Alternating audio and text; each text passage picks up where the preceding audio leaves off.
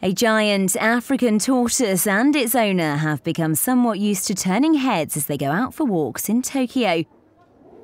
62 year old Hisao Mitani has been walking with his pet Bon Chan, who his wife got from a pet store, for some years. But it's only recently that the pair became an internet sensation when still pictures of them walking around parts of downtown Tokyo went viral.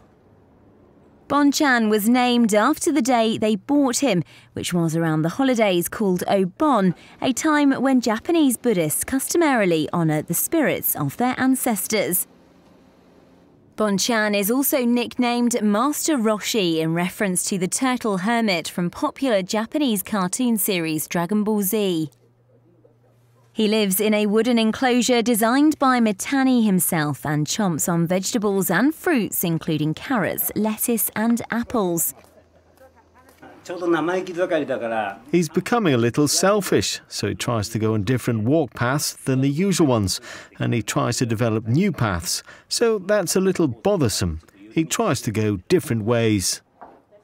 Mitani says Bon-chan has not been weighed in a while, but he thinks his pet is probably around 70 kilograms in weight.